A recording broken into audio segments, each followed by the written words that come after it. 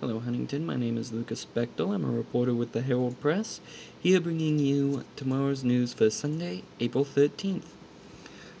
For our lead, we'll have a story about how the city's proposed annexation is going to.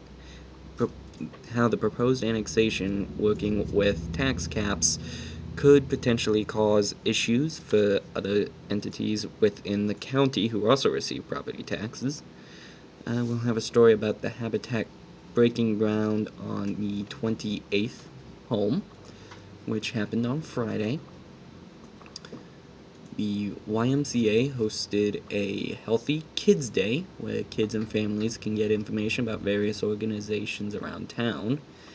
And we'll have a story about the Easter Bunny, who made a special appearance at story time in both the Huntington City Township Public Library, both the Huntington and the Markle branches this past weekend. In sports, we'll have a uh, story on Huntington North High School senior Kyle Platt, who's signing to play basketball with his father at Huntington University.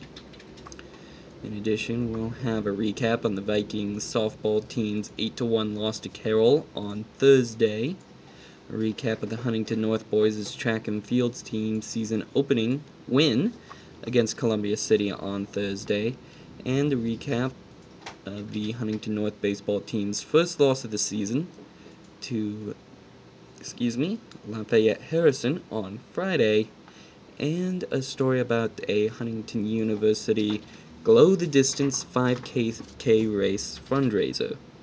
Those are the stories for Sunday, April 13th. Good night and good luck.